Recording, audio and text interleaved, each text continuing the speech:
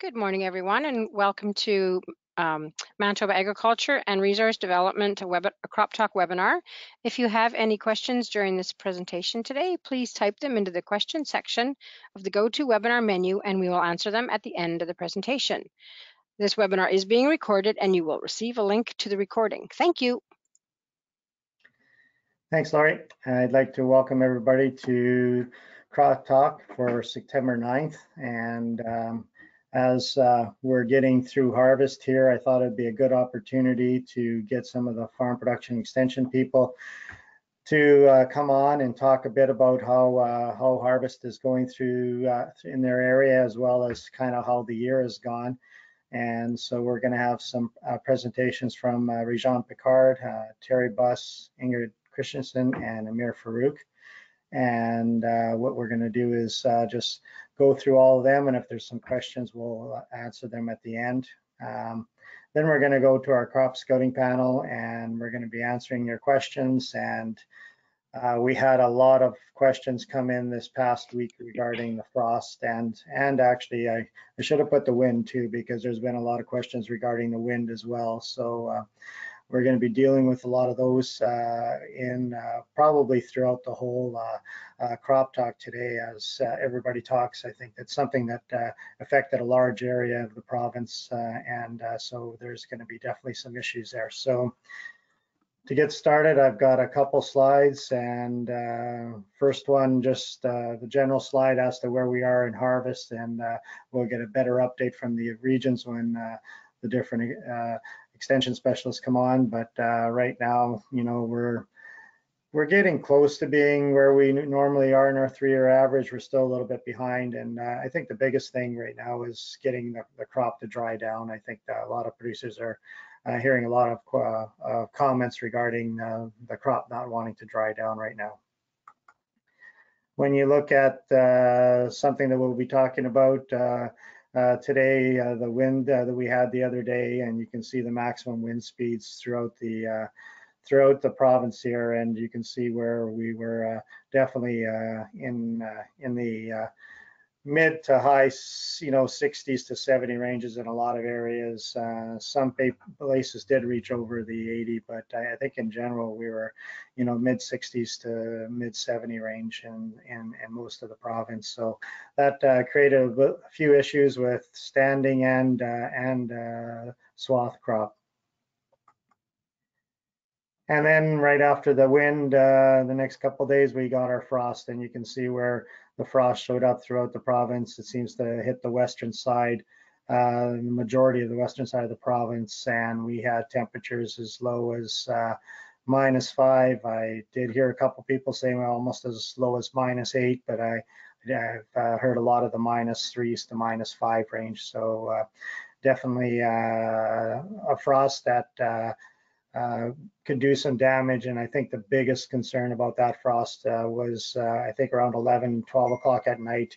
Um, it was uh, it was about minus one already, and uh, it froze for probably, you know, seven to eight hours over the night. And so I think that's probably the biggest the biggest damage that was done is the duration of the frost is, and and it did get fairly cold. Like um, you know uh, seven hours of minus one is, uh, you know, not bad, but uh, you get eight hours or seven hours of minus two to minus five, then, you know, you're going to see some damage. So we'll be talking about that a little bit later as we go through the uh, crop talk today.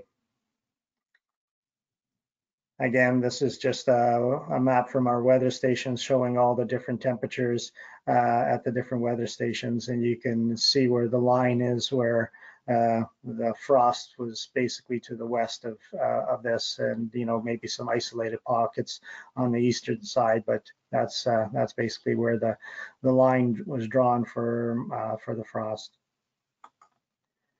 So now we're going to get into our updates from our farm extension specialists. Uh, we have uh, presenting today, we have Ingrid Christensen, we've got uh, Terry Buss, Rejean Picard, and Amir Farouk. So we're going to start with Ingrid. And so, Laurie, if you could give the screen over to Ingrid, we will start with her update.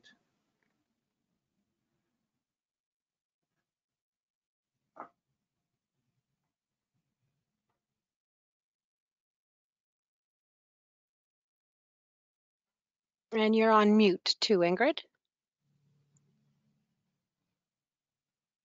Okay. Excuse me. Can you hear me okay now? You bet, Ingrid. Okay, good.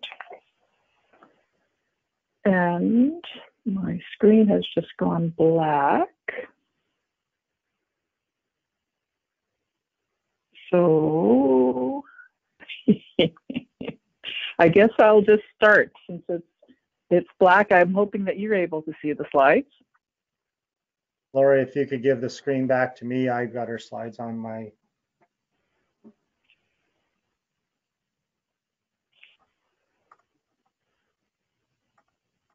Oh, oh, where did they go?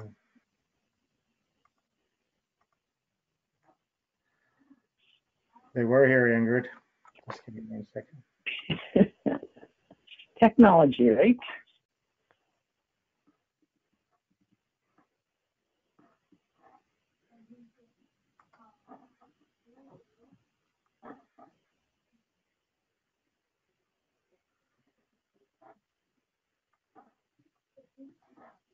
You know what, Lori, give the screen to Rejean and uh, we'll start with Rejean and I'll get the slides up here.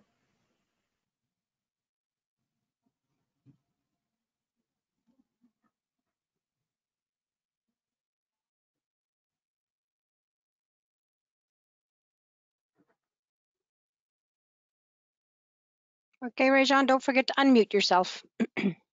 Yes, good morning. How is this? Perfect, Rejean, go ahead.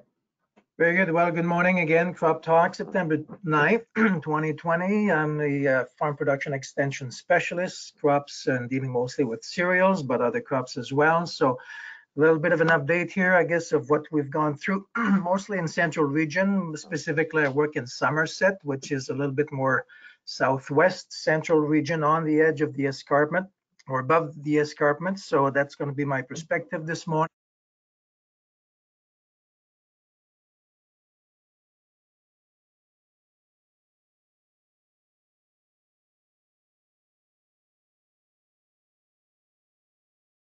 Uh, Rejean, you've clicked uh, mute, so do you want to unmute yourself, please?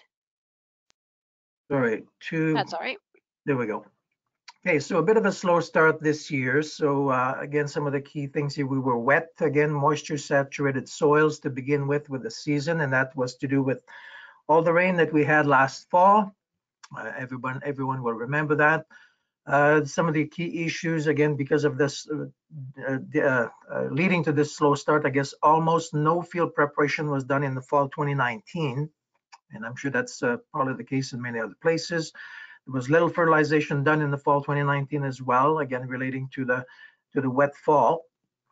Below normal pre precipitation for May and June this year, which was actually beneficial to some extent to allow for some of the soils to to dry up and warm up somewhat. Uh, so it did cause a bit of a delay there for, for to get started. But again, because of the relatively drier spring start conditions, uh, it, it allowed for uh, a relatively orderly return to the field, although with some delays.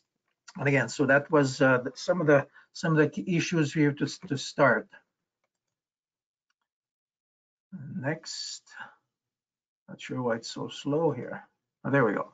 So again, this is just a map to show the soil moisture here in Manitoba again, and I've highlighted in red in that box there, more or less the area that I'm that I work within. Again, so relatively uh, you know, soil soil moisture was was plenty, so not not an issue there to uh, uh, for to get the start the, the the year started. So this is the a map of the fall so, soil moisture fall 2019. So percent of available water water holding capacity in the top 120 centimeters. So basically near to or pretty much at saturation levels across the province, including south central part of the of the province in, in our region. A little bit of an overview here. I always like to look at the broad perspective here of things, what's happening. So going back to 1993 here, this is a 30 or so year uh, diagram that shows the the proportion, this is not acres, this is a proportion of cereals, oil seeds, and legumes or nitrogen fixing crops in Manitoba. and uh, we're seeing a gradual decline of cereals and a gradual increase in uh, legume or nitrogen fixing crops. And oil seeds in red is fairly stable. But the point I wanted to make here is that uh, at about 50% of cereals is about a nice number, a, a, a, sustainable number to in terms of proportion of acreage for cereals versus broadleaves, which is oil seeds and legumes. So we see a bit of a dip here in the legumes and the nitrogen fixing crops since 2017, and that's mostly due to soybeans. Uh, just to show a little bit the, the, the, season we've just gone through here in, in uh, 2020, from uh, uh, the beginning of the year to uh, uh, till till the end of, of August, at least here we see at least for Somerset we're below normal for precipitation, and but above normal for for heat units. So again, it was beneficial to start a bit drier to allow things to dry, and a little bit warmer than normal to to allow things to catch up. So we're kind of we're right in the middle of harvest here right now. So that's been uh, a bit of the story here this uh, this summer, this season. Uh, some of the issues that we deal with usually again is Fusarium head blight in terms of cropping. And I just put up a couple of slides here between July, uh, one is uh, July 10th and one is July 15th. You'll see in South Central, excuse me, the municipality of Lorne. If you can see my my pointer here. July 10th were relatively moderate for head blight risk.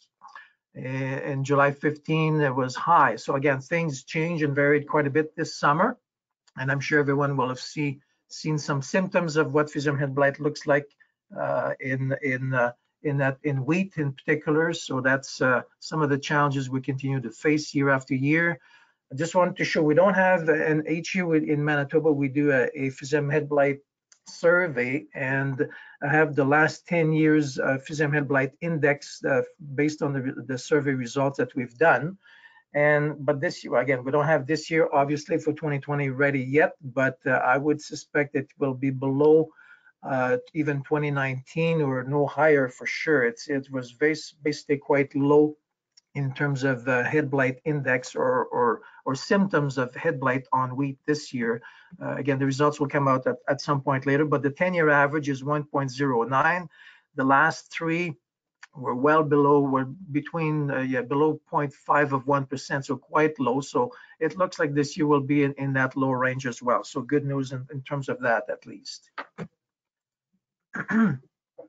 Uh, specifically in, in this area this year, something new to deal with, cereal armyworm on wheat. And there's a few slides here that were provided for, to me by a local grower. And mostly there was a fall rye that was affected significantly this year. Other crops, there were signs of the of the cereal armyworm, but nothing really worthwhile controlling. In that particular field with this grower, he did have to apply some some control measures, but overall, it didn't really affect uh, other crops, the cereal crops too severely, at least not to the point here that you can see on this particular slide. Uh, in terms of insect monitoring this year, uh, province-wide, we had 25 traps for diamondback moth, one of the insects that is being monitored consistently. And uh, basically in, in my area here at South Central, we had low levels. Well, Gladstone was the highest count with 57, as you can see here. Uh, Rhineland at 52 and Portage at 15. So it dropped off rapidly. Most traps had very low numbers. And I'm not aware that there was any control measures applied for that particular insect this year for, for uh, in canola at least. Bertha armyworm is another insect that's being monitored. 21 traps across the province. 18 of 21 had low risks. Three of 21 had uncertain uh, risk levels, and actually all of those were in my area, South Central, with Dunrea at 485, Killarney 472, and Somerset 400. Again, I haven't heard anyone that actually applied control measures for that particular insect, so good news there again. Next slide here.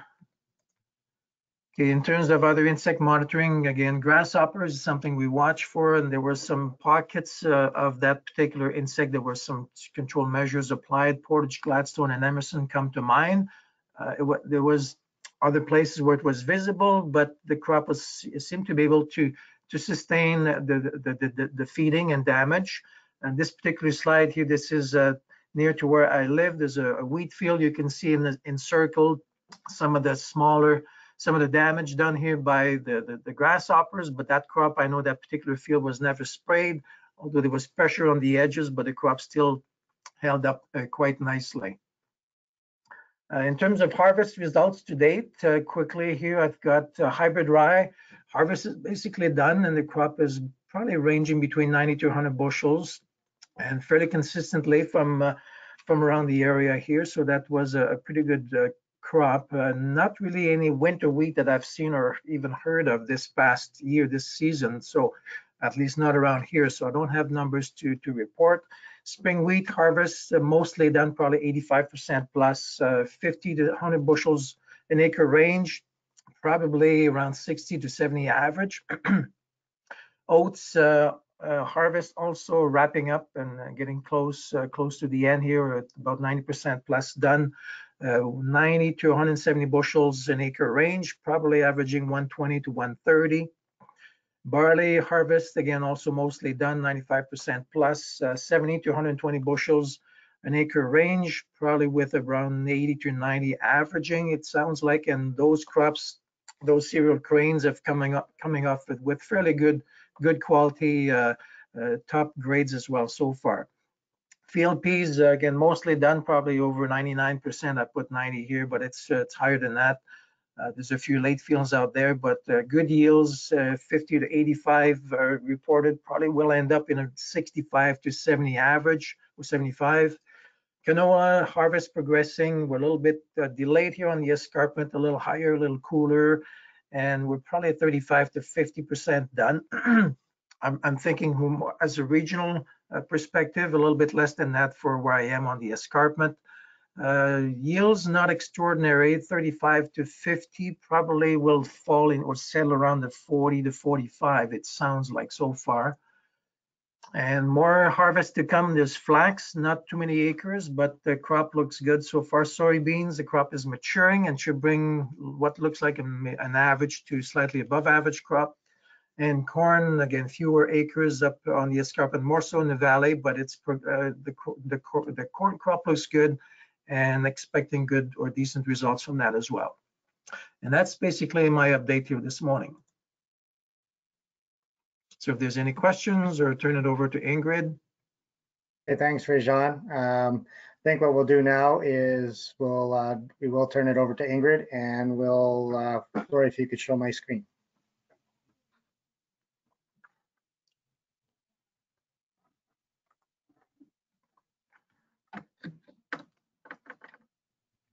Okay, Ingrid. Okay, good. You bet. Got your first screen up. All right. Well, thanks, Lionel. I'm going to give a bit of a of a harvest update for the Interlake region. My name's Ingrid Christensen, and I work out of the Teulon office. Um, a lot of the information that's been given given by um, by Rejean is is somewhat similar to us. You can see that uh, that we are ahead of the game also on growing degree days or corn heat units. We are catching up now on rainfall. We were, um, for a good chunk of the year, we were actually running in the 60% of normal range. Uh, we're still at a number of stations that are below the 80%. Um, as Rejean mentioned, everything was wet to start with. We also were dealing with crops that were were out over winter and had to be harvested this year, not a whole lot of field work. So that got us off to a late start. But as soon as as soon as the crop was in the ground, everything turned dry. It was cold, so there's lots of early season stresses, which was a little frustrating after we'd been so wet. We didn't have a significant rain again until about uh, uh, towards the end of June, and um, so that certainly affected the crop all all year long. Final next slide. We've been pretty lucky according to um, the maps that, that Lionel showed earlier on. We have pretty much escaped the frost so far, fingers crossed. Any frost that we did have has been for a fairly short duration, so that's a nice break for us, and we hope to keep it away. And next slide. Oh, and click again. Sorry. Oops. There. I just wanted to put this one in as a reminder to myself. This is actually the result of the late spring frost on fall rye, and we certainly did have lots of, of stresses on the crops. Besides cold and dry, we had a, a late season frost that affected a number of of crops, uh, mostly the fall rye, the winter wheat. Um, we didn't have a lot in the Interlake, but there were a few fields affected. Another one that we expect um, was affected were some of the forage seed crops. You, know, things like uh, timothy and perennial ryegrass, even trefoil, we believe was affected by that late spring frost. Lots of other um, stresses as well. Rejean mentioned the, the armyworm. That was a big issue for us in the cereals as well as in some of the forage seed grasses, and some were quite significant. So far more spraying done this year for insecticides, insect, insect control than normal. And grasshoppers were definitely a big part of that story. Rejean put up about three sites that had some spraying.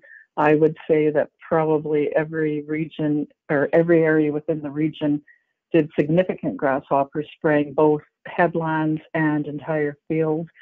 And uh, quite a number of times there was um, several applications, unfortunately. So finally the pressure is off now, but if you walk out into a field in lots of places, there's still quite a few grasshoppers. Uh, next slide. So with the rains, we're now at a standstill for harvest and baling. Uh, we did get off to a, a, pretty good start. A lot of that was because of premature ripening because we were so dry. We had the, we generally had rains in in late June. Uh, a lot of people didn't have a significant rain again until about the beginning of August. Some had, um, you know, an inch of rain middle of July, but that was tremendously scattered. So certainly the yields in the Interlake are very, um, very dependent on whether you got an extra rain or two. Um, next slide. So we are mostly finished cereal harvest. Um, there are a few fields standing out. On the upper left is oats, and certainly with that wind that we had, there has been some shattering. So not sure the implications on some of that standing crop, but uh, I think in places it will be significant. And still some wheat out. We figure that we're probably in the 70 to 80% done for the cereals. Um, fall rye, of course, is done, and winter wheat. Um, we've had pretty decent yields. Barley ranges from 60 to 110 spring wheat yields um, reported in the 45 to 95 range. Average yield, we're guesstimating at 55 to 65. Um, very happy with the quality. Since we've had some of the rains, there's a bit of bleaching, but quality's still good, and proteins are decent, ranging from 12.5 to 14.5, and those lower proteins are on some of those higher yields. Yields have also been generally really good, 90 to 130, with some as high as as 150 to 160.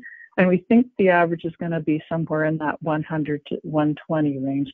And a lot of the, those lower yields is just because of um, very dry conditions, not much for for rain. And I think talking to most guys with the lower yields, a lot of them say that they are thrilled to have what they did get based on how the crop looked. Next slide. And click again. So you can see that uh, um, some of the crops have been off for a while, and with the rains, we've got some good regrowth in the tracks. And uh, the nice thing about this this harvest is that there's been lots of straw bales, and right after the combine, and those bales are coming off the field quite quickly. A little bit slower now that some of the fields are getting soft, but certainly has been lots of lots of uh, straw bales. So that's been terrific. They are uh, greatly needed. Uh, one thing I noticed this year, and it may have happened in the past as well, but with more peas this year, uh, there has been a lot of pea residue baled as well. So that should give some uh, additional source of protein uh, or feed source to cattle. Uh, pea yields were also generally very good. Um, uh, people were probably averaging somewhere in the 60 bushel an acre range, so quite pleased with that. Uh, next slide, Lionel. Okay, on to canola. Uh, most of the intended canola swathing is complete. Uh, any, almost everything for standing crop is waiting to be combined. And of course, part of the story on canola this year is that there were uh, a number of fields that were reseeded late because besides that cold weather, we also had issues, huge issues with flea beetles. So lots of damage there. This field is actually um, going to be straight cut. The story there was it had uh, corn on it, and that didn't come off until this spring. So, so it's a bit later. But um, in general, the early canola yields are from 25 to about 50, and we're anticipating 35 to 40 bushels for an average. Not the best and a little bit disappointing, but given the year, pretty pretty decent. There were lots of thin crops because of all those early season pressures and then insect pressures, lack of rain. So all things considered, looking pretty good. Uh, click again, Lionel. There should be a couple more slides here. Yeah, standing canola, looking looking pretty decent. So next slide. Okay, off on the left, um, it's is actually flax straw, so at least that crop is harvested. On the right is some canola, canola and swath. The fields that I've seen so far haven't been horrendous. I've certainly seen far worse in other years back when I was in Morris, but uh, there will be some problems because of those swaths blow, blowing around. So that's disappointing. Um, in the standing crop, there have been um, comments about pod drop in in the shatter-proof varieties. I did notice yesterday that it looks like that some of the some of the standing canola that there is shatter in there as well. So that'll remain to be seen how how bad it is. But um, but yeah, the wind did cause some significant damage. Next slide. Uh, you can pull though. There's another two on this one. Yeah, so soybeans, a lot of folks are finished all their cereals now and um, and are done their canola. Um, I should have mentioned that the canola harvest is probably estimated at about 35 to 45 percent complete, with quite a number of growers just waiting to get onto the beans. And uh, one fellow told me he was going to get into his early beans yesterday. Um, so we'll see how those are doing. But lots of fields are leaves are dropping fast. There's been a, a, big change in the last week to 10 days. Um, we're hoping that the yields will be decent. We're we're thinking that probably those early maturing ones will uh, be the most disappointing just because of lack of rain. Uh, strictly the story there. Um, so this year, some of the later maturing ones hopefully will do better. There seem to be some additional fill after, you know, kind of the early August rain. So hopefully that'll bode well for the crop. Um, and surprising, even considered all the stresses of environment, there were still lots of four bean pods, lots of three bean pods. In earlier years, we would often only see uh, uh, one, one or two bean pod when you had lots of stress. So some of these newer varieties are really hanging up quite well. Um, the big, biggest issue, of course, was on the lighter textured soils. So, uh, sunflowers, um, a lot more sunflowers in, in the Interlake this year, um, and all are progressing well. You can see that the backs of the heads are turning yellow. All all the sunflowers in particular, but quite a number of the crops are much shorter than normal. Um, maybe not a bad thing for harvestees. On to the next. Yeah, two slides there. Oops, back. Uh, didn't make any comments about corn, but uh, corn is starting to dry down. Um, some folks report that there are very nice cobs in their fields, all again dependent on the rain. Um, but we expect to see some poor yields just because of all that um, drought stress and heat stress uh, fill hasn't been all that great on some fields. So hopefully we'll get some good surprises, but um, people are tempering um, what they're expecting. There was quite a lot of corn silage that went in. We certainly need some additional um, feed for cattle. Um, on the lower left hand is actually green feed oats. There was a lot more green feed crops that were seeded, oats, cereal mixes, barley, millet, uh, and that has been a really good addition for, for folks that are feeding cattle. And as I mentioned before, lots of straw being baled, so that's good. Uh, next. Oh, I just wanted to throw this one up. These are the grasshoppers, and as I mentioned, we had some significant problems with grasshoppers. They were just fixed. So um, hopefully we'll see some changes for next year, but these three consecutive dry years for the Interlake have really have really increased some of those populations. And the next one is, if you can see here, the soil is lifted, and again, soil is lifted. Nope, that's good. You can leave that one up. And the third picture, I had no idea um, that when crickets disappear, they've got all these little holes under the soil. I've never seen as much soil lifted as this year, and it's because of the population of crickets, which is great in terms of being a predator on grasshoppers. And I think that's about it.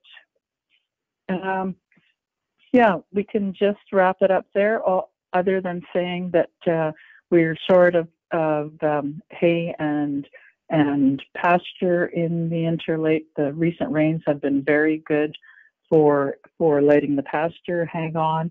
But um, hay yields have turned out to actually be a little bit better than most people expected, but will still be below average. So so certainly we'll be looking for some additional feed there. And I'll wrap it up and turn it over to Amir, I think was next. Thanks, Ingrid. And yeah, we will uh, start with uh, Amir. Uh, Amir is from the Southwest region. Uh, good morning. Can you hear me? You bet, Amir. Okay, thank you. So I will just uh, quick update from Southwest as uh, Lionel every week uh, gives some uh, updates from this area. So I will just uh, do some updates about the harvest. So the first uh, slide is for about cereals and peas. So overall harvest is 25 to 30% done in all, the region. So barley is 80 to 90% done with good malt quality and average yield. So overall uh, producers are happy with the yield and quality with barley. And oats are 70% done with good yield. Spring wheat is 50 to 60% done with good, good quality and average to above average yield. So, and peas are done 100%, mostly very few odd fields are left. Otherwise, 99.9% uh, is done. And uh, overall, excellent quality and uh, average to above average yield. So, next slide.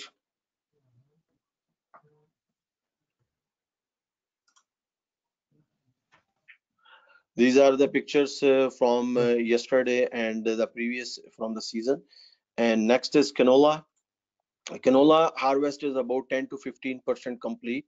And uh, mostly this harvest is done in uh, southern parts of the region, like in uh, south of number one highway. And canola harvest for the most part has not begun yet in northern parts of the region.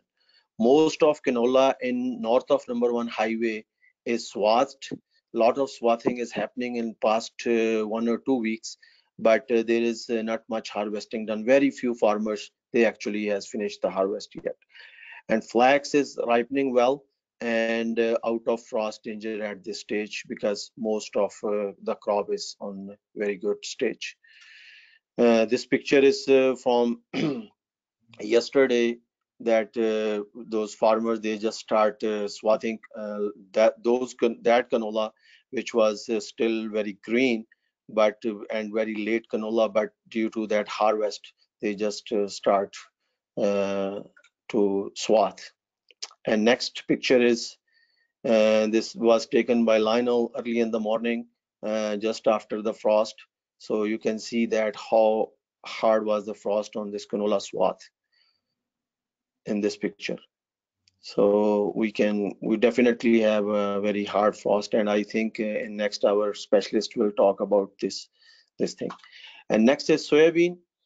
Soybean was looking very great all over the uh, season in the spring in the all summer. But soybean is crop mostly at this stage is um, some field were six at R6 stage, 6.5 to like seed fill stage to R7 stage. So some varieties are maturing earlier than others. There are significant soybeans or later varieties which could be hit hard by the frost. So damage will be determined later. So variety selection, in my view, will be the most common single factor, especially in western Manitoba and northern Manitoba, especially in the future, because we, you never know what is next coming and uh, when the early frost will start. So it's very so. This is the soybean picture. Uh, looks very good. Most of those fields were like good height and lot of pods and every mostly farmers were very satisfied this year because we got very good rains throughout the season so but unfortunately in next picture we can see this just got yesterday so those fields are looking disappointing right now especially with these uh, frost damage getting started because it's it's it's it was very killing frost and i just visited a lot of field yesterday and even our wet trial. So even those leaves are already start to dropping so. Next is sunflower and corn. So sunflowers are most of sunflowers are, are at r7 stage most of crop was looking also very good promising crop before the frost so this frost may influence test weights as well on sunflowers and corn is at in most of the region is R5 stage. So very few fields were beyond this stage prior to frost. So this killing frost may harm the yield and test weight in corn in the southwest. These are some pictures from the uh, for sunflower. So and then corn, it's also already start to uh, drying up with this and showing the effects of frost. So hopefully uh, we should be hoping that minimal damage to all these longer season crops. So overall, Southwest region is looking was looking very good before this event. So hopefully, uh, other than soybean and corn, most of these crops will be much better and good yield. So best of luck for the upcoming harvest. Thank you. Hey, thanks, Amir. Uh, Lori, let's turn it over to Terry.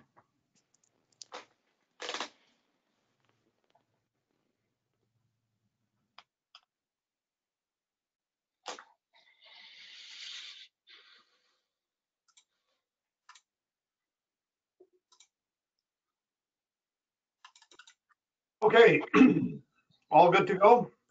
You bet, Terry. Okay, here we go. I'm not going to repeat everything that's been set up till now. Many of the comments, particularly from Ingrid, would apply to us out here in the eastern region. I'm Terry Buss. I'm a farm production extension specialist out in, excuse me, Beausejour. Uh, so I'm up against the forest and the Canadian Shield heading into Ontario. Um, okay, so let's get started.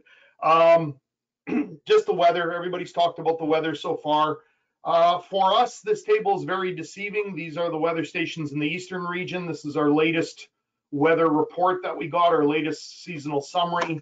It's deceiving, as I say, um, especially on the rainfall side. Uh, every station is now starting to approach a more normal level of precipitation, but that has to be Uh, handled with a bit of caution. Many of the weather stations in the eastern region, particularly central and northern districts, were at 60% normal rainfall or even lower. Beausejour tracked at below 50 for a while for a good chunk of the season. We didn't. We had a period from you know sort of mid June all the way through until the beginning of August where we got hardly any rain. And then there's some uh, stations that are from our southern districts and they have fairly impressive numbers. If you look at something like Gardenton, you're at 131%. But we had what can only be described as a biblical rainfall event in spring out in some of our southern districts where the flooding was immense. Um, th those districts are still recovering from that tremendous event where they literally got eight to 10 inches of rain in a matter of eight to 10 hours, or even tighter than that. So, like I say, the average rainfall numbers now look pretty good. And 100% normal rainfall for us is usually a tad too much for annual crops. So you would think that things are hunky dory, but those numbers are very deceiving. We've had weather events and rainfall events that have that have not been all that pleasant. As of September 8th, uh, harvest we're saying is about 40% complete overall. And I'm just going to work my way through the different crop types here. Um, frost, um, this was put up yesterday. I put this up just to show that uh, for the most part, we dodged the frost bullet that happened yesterday morning. Um, most of our stations were above zero. Um, there were a few that dipped below, but usually not in areas, not for very long or not in areas that had significant acres of crops. We had frost again this morning. Uh, we're still kind of figuring out that event.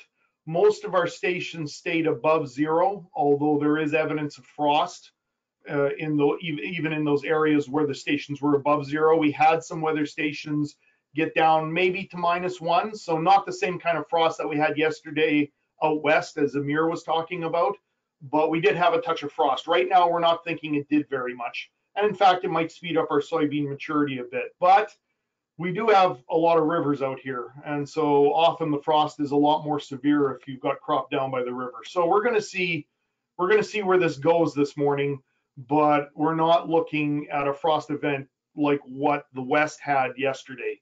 Um, I think if there is significant damage, it's going to be fairly localized.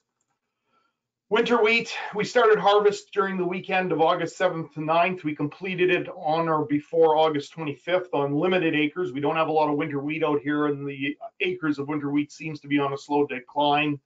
Yields were 65 to 75 bushels per acre range.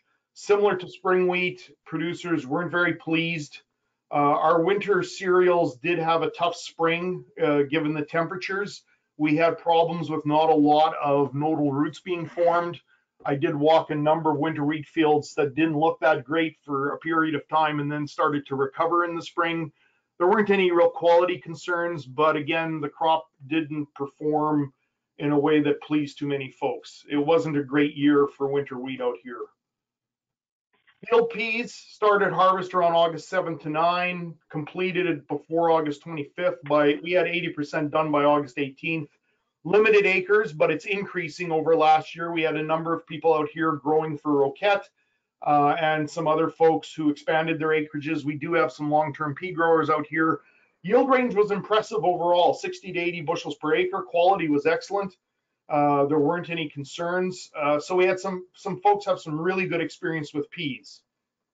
However, it wasn't perfect for everyone. And even though for the vast majority of growers, it was a really good time for peas. This is an old picture by my farm, but it makes the point.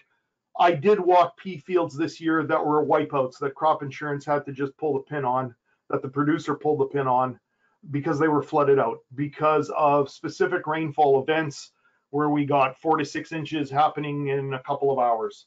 And so, and many times these fields weren't very far apart from each other. The most successful fields were located on the best drained soils. Producers did make an effort to try and put them in areas where they wouldn't be too flooded. Uh, but we still had some fields written off, even though we had other fields that did 80 bushels an acre. So go figure. Peas did demonstrate on the fields where things went well. Peas did demonstrate two things. One, their early flowering. Uh, so they got it done before it got horridly hot because we had a lot of hot days out here and also their incredible moisture use efficiency, their efficient use of water. So even though we were getting really, really dry, they were able to get the job done. Um, we'll see how it goes next year. It's always kind of up and down for us with peas. Hard red spring wheat and oats as of September 8th. Hard red spring wheat, we're about 80% done. Uh, yield reports from 55 to 70 bushels per acre. Quality one and two. Recent rainfall causing some bleaching. Protein's variable, 11 to 15 is kind of the range that we're hearing. Some of that has to do with how well fertilized the crop is. Some of it has to do with yields getting really high. Overall, people are very pleased with their wheat. Oats were about 90% complete as of yesterday. Yield reports are ranging from 100 to 130. We're not having some of the bin buster yields that we've had from time to time. We like to grow oats out here. We do it pretty well. but the 150s, 160s are elusive. Uh, so we're in that 100 to 130. Quality is good, but variability in bushel weight. Uh, we aren't seeing really stinky bushel weights, but we're seeing some lighter ones than what we saw last year or the year before. So people are being a bit cautious on that. Bushel weight varying field by field uh, as we go through it. Overall, cereals are a good news story for us out here, and people are generally quite pleased. Canola, not so pleased. Um, Pre-harvest herbicide applications and swathing is about 90% done. Things are dragging along for us. We that early June frost we had caused a lot of reseeding out here. Plus, some of the spring conditions led to late seeding out here. So we've got combining going on while we still got pre-harvest going on and swathing going on. I'm still getting calls about swathing and pre-harvest applications. So we're kind of all over the map on that one. Uh, harvest is about 25% complete across the region. Yield reports range from 25 to the absolute highest being 50. Um, people aren't pleased overall. Uh, we've had some just incredible canola yields over the last two years. And so it's all relative to past experience. I'm getting a lot of folks who aren't happy. Um, it's not a disaster, but it's not pleasing. Uh, quality's been go good. As I say, overall producers disappointed with yields. A lot of folks are looking for answers on this because they're looking to expand or, or still grow a fair bit of canola next year. I would point to the number one problem we had is hot and dry conditions during early to mid flowering and initial pod set. We had some hot days and we were running short of water. Um, that doesn't seem to please folks. And so they're looking at things like insect damage, we did have, and you've heard from Ingrid, we had a very similar experience with cutworms. We had flea beetles, we had grasshoppers, we had challenges on our cereals with armyworms, the grasshoppers, grasshoppers, grasshoppers. We had dealers running out of running out of insecticide from time to time. Uh, so we had a fair bit of spraying going on, but I think weather had an awful lot to do with the canola yields we're seeing. Uh, June frost damage to crop that wasn't reseeded that's something that's being pointed at. A lot of folks are spending times on diseases. My disease surveys didn't show a whole lot of disease, but it's a discussion that's going on right now in the community is that we've got issues with diseases. Um, one thing to mention, Ingrid showed some pictures, wind damage to swaths and standing canola on September 6th. We had some mighty gusts out here. The neighbor's pergola decided to come visit my deck. Um, and so there has been there has been swath canola blown around and some of it out here is pretty bad and it's going to take a lot to get it sorted out. Soybeans, mostly we're in R7. Um, I think we're in a good solid R7. There's a brown pod on most everything out here. Early maturing varieties, some of our seed producers that are growing seed for, for on contract, some of them are close to 95% brown pod with seed rattling. They're, they're, they're looking at dry down coming on soon. Yield potential is variable. Wilting was evident, particularly at later flower and pod filling. We had a lot of wilting going on out here. Um, and some of those top potting opportunities were lost in some fields. Most crops have good pod height and they're fairly tall soybean crops for this year. Uh, yield wise, it's going to be variable. I've seen everything from crops that are going to yield above average and potentially significantly above average to ones that are going to be below average. So overall, um, I think it's going to be kind of an average time of it. Um, certainly, we our crops are farther ahead than what you heard from Amir, uh, and even the frost this morning is likely to be our friend rather than our enemy on on our soybean crops. Corn, most of our corn uh, is in the dent. Milk line about 50%. That's an average. It varies widely by variety. Um, so the corn's looking okay so far. We'll see if we frosted any leaves uh, later on today when when we get a chance to take a look. Moisture stress became evident, especially during during August, late July. Pollination seemed to go okay. Kernel numbers seem to be all right on the cobs. We'll see how filling was impacted by our dry conditions. Um, the recent rainfall, our rainfall that started late earlier on in August, seemed to really pick up the condition of our corn and our soy.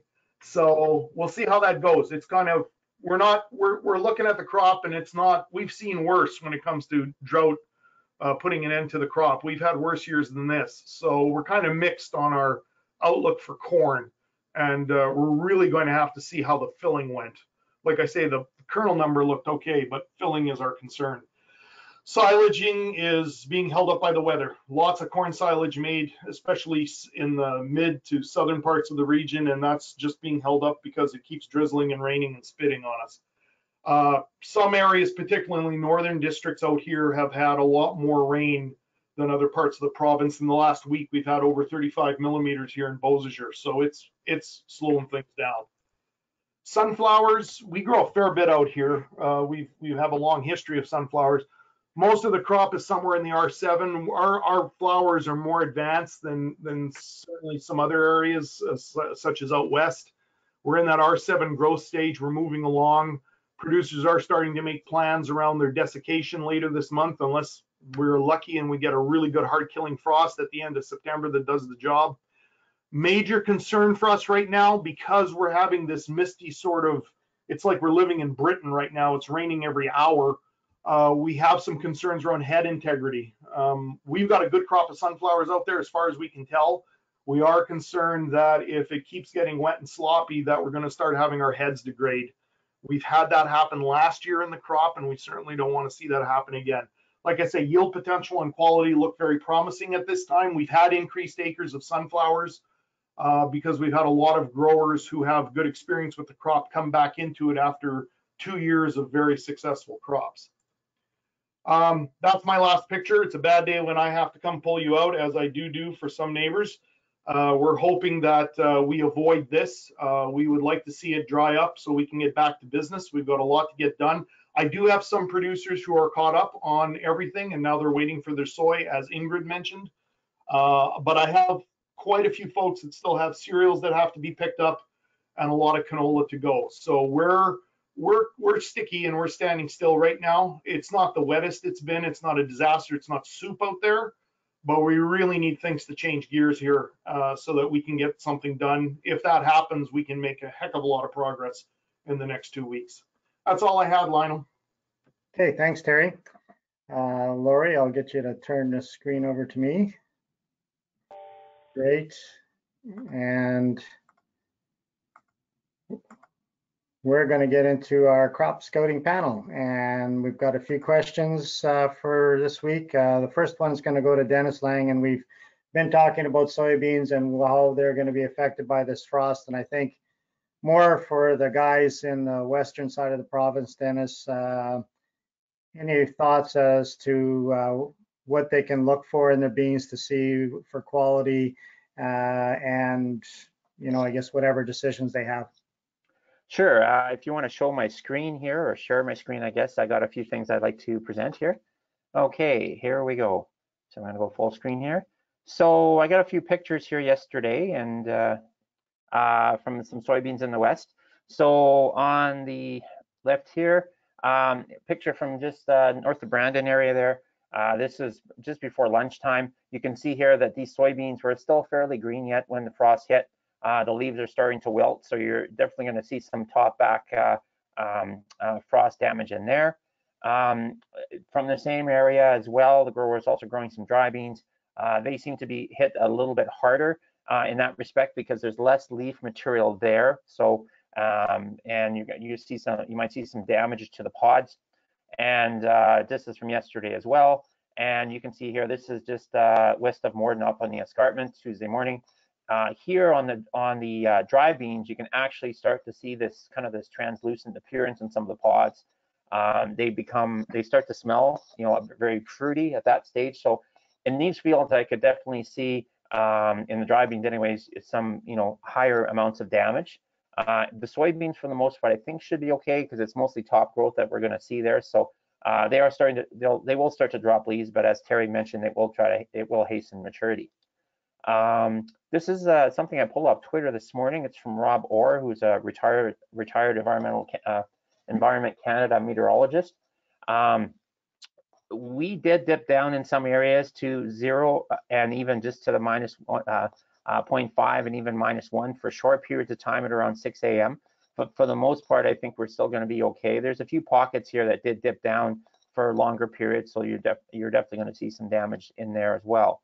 Um, so one of the things that comes up, and I had this on last week's slide, but I, will touch on it again. Uh, when you get that light frost or, or even you know a little heavier frost, and you have a lot of leaf canopy in the soybeans, what you'll see typically is a lot of this uh, you know burn back on the top leaves.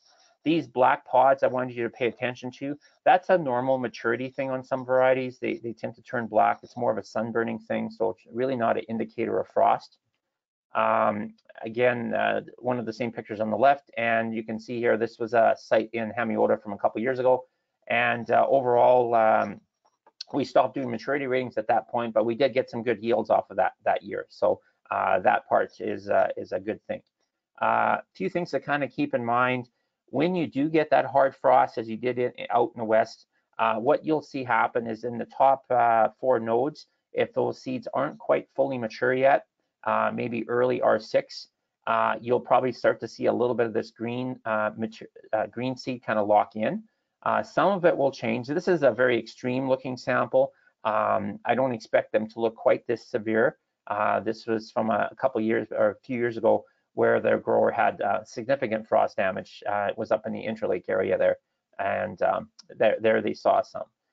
just a closer look here, you can really see the ones in here, the, the if I look at some of these samples here, uh, there's a few that have a tinge of green. Those will probably disappear. These really harsh green ones uh, will probably shrink up. It's the ones that are kind of in between. And what the Grain Commission typically does, I'm just going to go ahead a slide. Um, what they typically do for grading is they'll uh, they'll cut those seeds in half, and then uh, you can see here this is the rating scale they use. So to go from mature to immature, uh, for green seed issues. It's a pretty fine line. Uh, for the most part, we haven't seen any real quality issues with soybeans in Manitoba. Um, from the Grain Commission, what they typically do for that for the grading system, and this is what the elevators would do, uh, they'd remove the dockage from the sample. Um, you know, they're working uh, the working sample is from 60 to 100 grams that they're looking for frost damage. They'll actually cut those in half, and they'll those suspect kernels and look and see what the percent total is. So for a number three Canada, you're, you're allowed 5%. For a number two Canada, where most of the beans are sold, you're allowed 3%. So for the most part, you're probably still going to be okay uh, for damage. As far as yield loss goes, um, we're mostly in that R6 growth stage in, in the beans that are in the far west. And uh, this area here, we're, we're in that into that R7. So you can see up to 30% yield loss at R6 if it's a hard killing frost. Um, and uh, if it's just a light frost, you probably won't notice much of that. You might just notice those top pods go, so it would be at the lower end. If you're at R7, uh, yield loss is pretty negligible. negligible.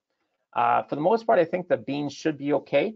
Uh, it will hasten maturity, and because there's enough green leaf material there, uh, you uh, shouldn't see too much of an issue with um, with you know loss of yield. Might see a few green kernels.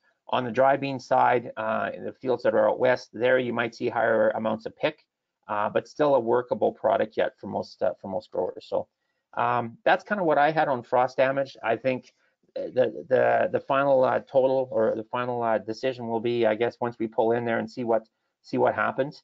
Um, the green seed sometimes does change in the bin. Uh, but what I would suggest to growers is if you do notice a few green kernels in there and the beans are mature, um, you could wait a few days, but typically, uh, if those beans are mature, I would say continue harvesting as long as the percentage is, is, a, is a workable level. So, and that's all I have for today. Okay, thanks, Dennis. Lori, if you could uh, give the screen back to me.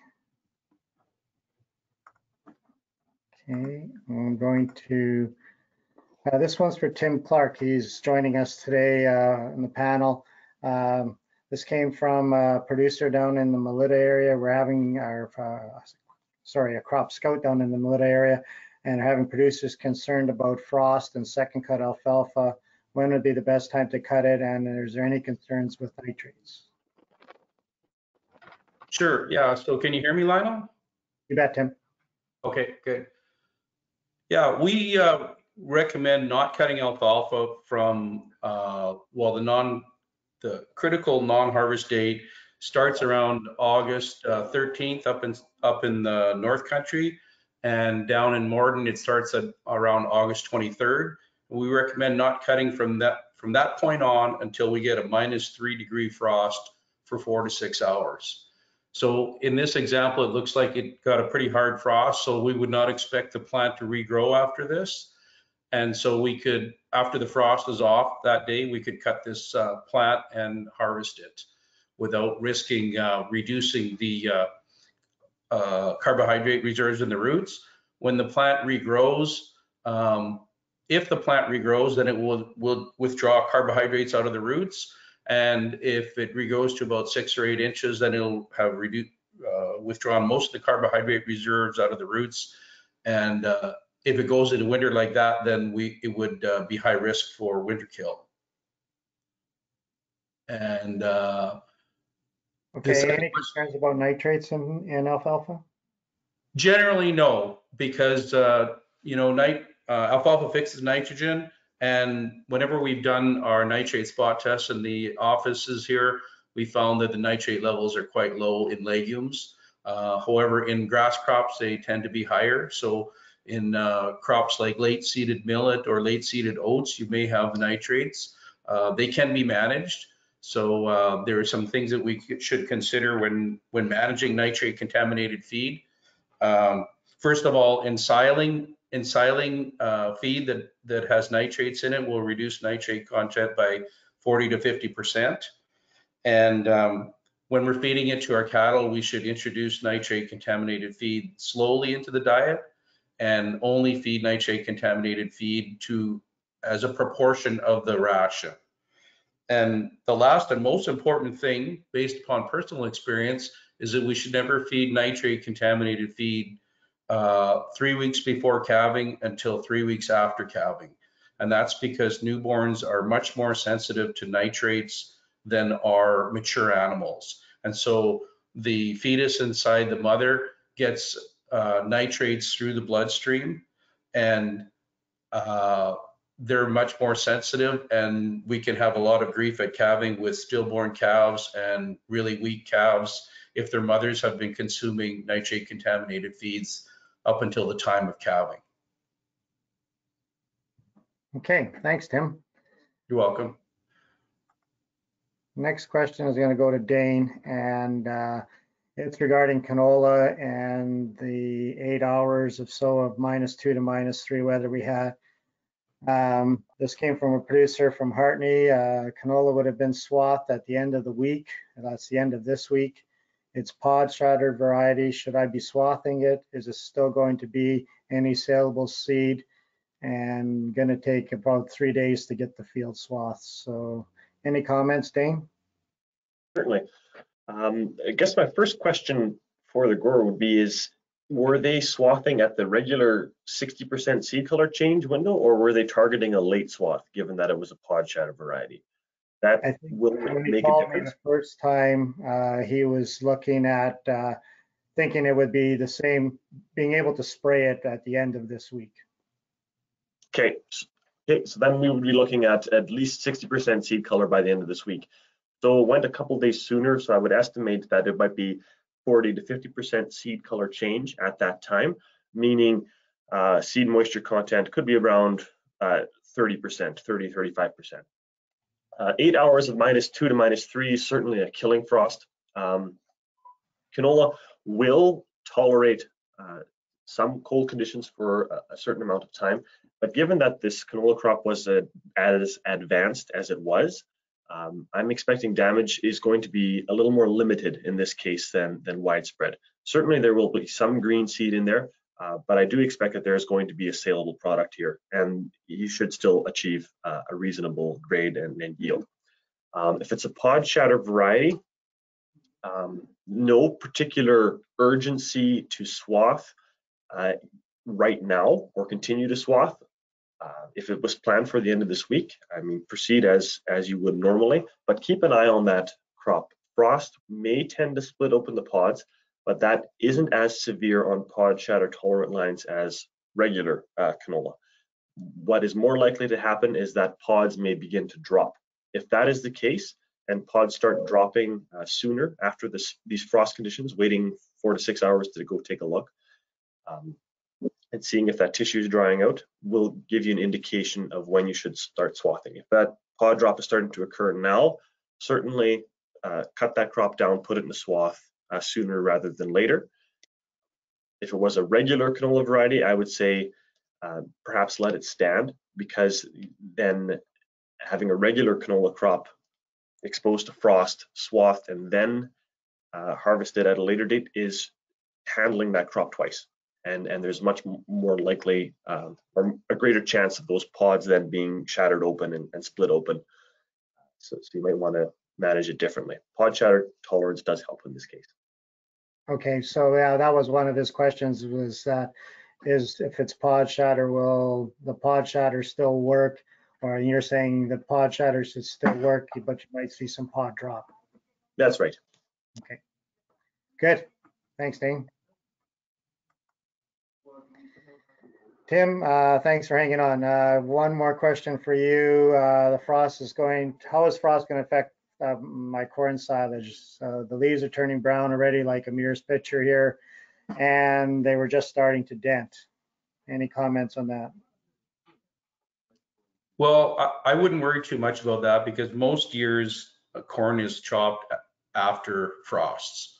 So uh, the ensiling process reduces nitrates by about 40 to 50 percent, and we should time our corn chopping according to the uh, milk line on the cob. So we want between 1 8th and 7 eighths milk line, preferably around 50 percent milk line, and we want to have the moisture content of the silage at 70% or less.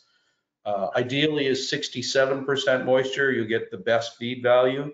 Uh, over 70% and you're likely to have effluent run out of your silage pile. And you likely have butyric acid formation in the pile, which is not good. It's, uh, it's uh, anti-nutritional. Uh, if you get it under 67%, then you'll have lactic acid form, which is what we want uh, to drop the pH so that it'll ensile properly and pickle. And I wouldn't get in too much of a hurry to chop right now unless you've had that corn crop has been drought stressed for quite a while, and then it might be under 60%, 67% moisture standing. Uh, I've seen fairly often people get anxious and they get a frost early on in August and they'll go and chop and it'll be 75% moisture and there'll be lots of effluent running out of the pile. The pile will not uh, properly ferment and it'll be poor quality silage in the end from getting too hasty and chopping it too early. Okay, good. And uh, so your uh, stalk and your cob are your are your main main source of silage. Anyways, the leaves usually are dried up by the time it comes to silaging. That's right. They don't represent a lot of the of the plant uh, by weight. They they uh, take up a lot of area, but they don't amount to a lot of actual mass in the pile. Great, thanks, Tim. You're welcome. Okay, that's the questions for the panel today. We've gone a little bit over time, so I just want to talk a few things about some of the, the Manitoba hay listing. Uh, as Ingrid mentioned, there's still some areas that are short feed. You got feed, put it on the hay listing. Uh, crop residue burning, uh, again, check if you're going to burn. And uh, that's, uh, there's my slides. Sorry, Ingrid, I had you on here twice. So join us uh, next week, September the 16th, uh, for our next edition of uh, Crop Talk. Thanks for attending.